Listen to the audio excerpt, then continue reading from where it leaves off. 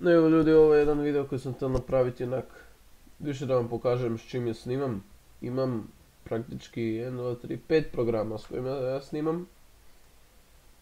E, I ovoga, e, to su ovak, znači.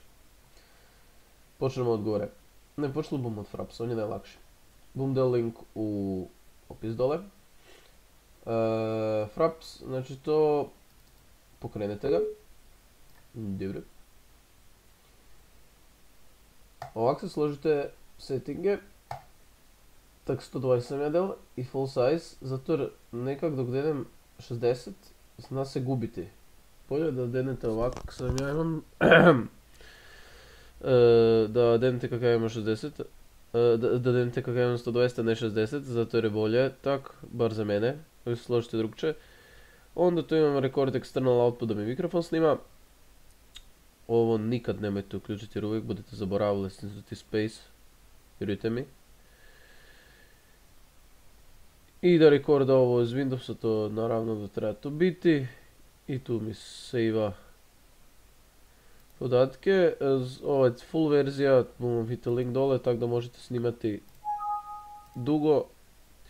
Ne morate snimati po 3 sekundi ko na free verziji. Zakaj ne koristim? Često tako ovaj Fraps više. Zato jer imam bolji program. Drugi program koji koristim za rekordanje je XSplit.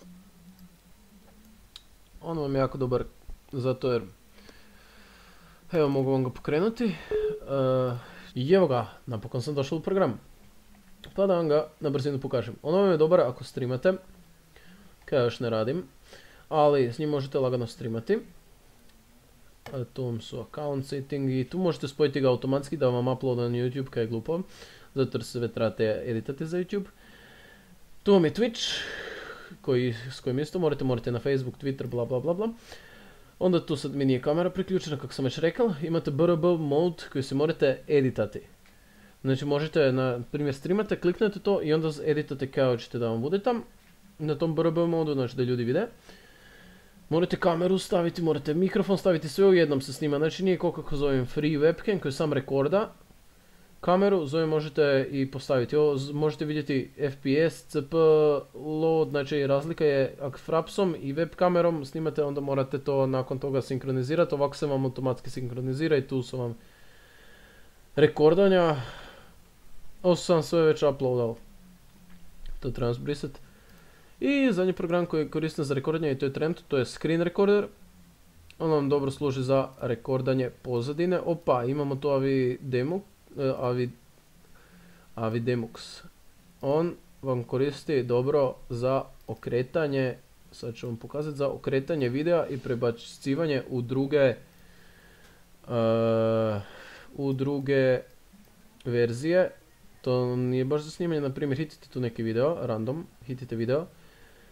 I tu si posložite u koji file hoćete, u koji audio, u koji ovaj i spremite i u tom, u tom formatu će vam biti. I zadnje, Sony Vegas koji koristim za editanje. Pro, ali o njemu budem napravili jedan poseban video dok hoćete. U njemu možete napraviti sve što vam treba za editanje. I to bi bilo to za ovaj video.